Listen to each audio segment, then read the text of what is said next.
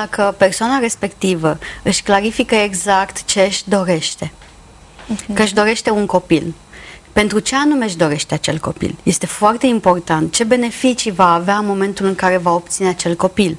La ce anume este nevoie să renunțe ce preț cumva Sigur. să plătească, fiindcă noi știm deja, viața ne-a, ne învățat că în momentul în care treci mai departe, plătești un anumit preț. Ai exact. o anumită...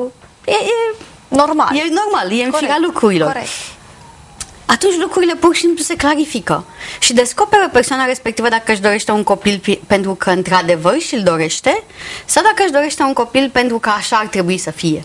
Uh-huh. Este o diferență foarte mare. Pentru că foarte, multă, foarte multe persoane am întâlnit, probabil că sunt și oglinzi ale mele, da. așa. așa se întâmplă, spun că își doresc copil. Își doresc foarte mult un copil și totuși nu pot să-l facă.